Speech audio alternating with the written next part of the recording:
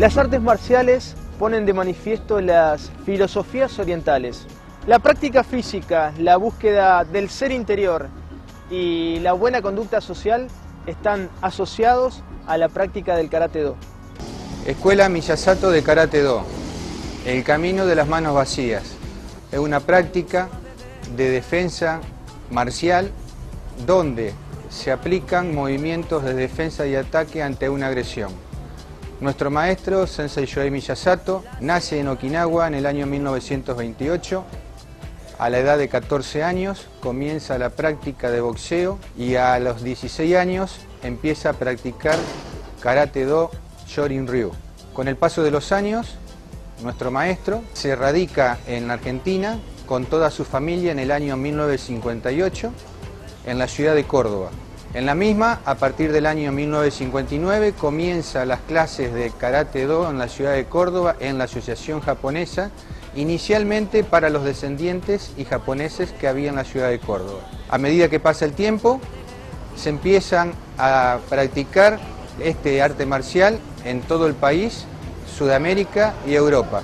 En este momento se está por cumplir en el mes de septiembre los 55 años de la escuela. Originariamente en el Japón antiguo, hablando de cientos de años atrás, para que no se sublevara el pueblo ante el sojuzgamiento de los reyes japoneses, se le saca al campesino y al pueblo en común todas las armas. A partir de ese momento, para poder defenderse de los ataques sucesivos que en esa época sucedían en Japón, los campesinos empiezan a utilizar las técnicas de defensa y ataque con las manos y las piernas simulando las armas que tenían anteriormente.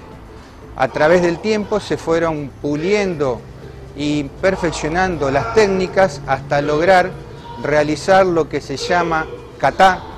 Kata viene a ser una serie simultánea de defensa y ataque que simulan un combate. Con el paso del tiempo, los japoneses se dieron cuenta que ante la perseverancia, el respeto que se tenían las prácticas marciales, podían trasladar esa disciplina a la vida diaria. ¿Cómo? Utilizando los mismos mecanismos que utilizaban en las prácticas, siendo respetuosos con los compañeros, esforzándose en la práctica, ¿no es cierto? Y a través de eso empezaron a darse cuenta que lograban ser mejores personas.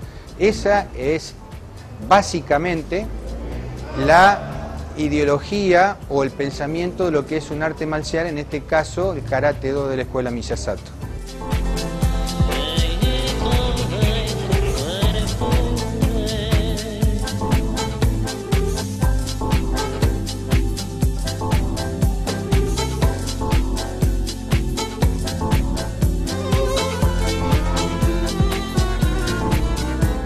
Auspicia este espacio. Ministerio de Innovación y Cultura. Gobierno de Santa Fe.